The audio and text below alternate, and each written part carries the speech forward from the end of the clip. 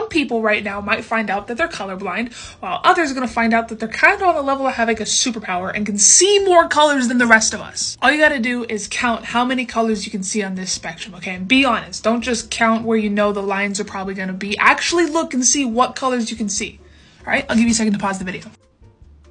Okay, so if you counted 20 colors, then you have two color receptors, which means that you are a part of the 25% of the population that's colorblind.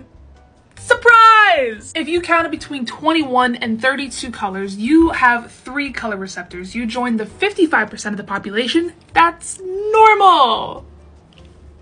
But if you're able to see between 32 and 39 colors, you have four color receptors, which means you are a tetrachromat. You are more sensitive to the color yellow. The blue black dress thing didn't actually fool you, and you are most definitely guaranteed a female.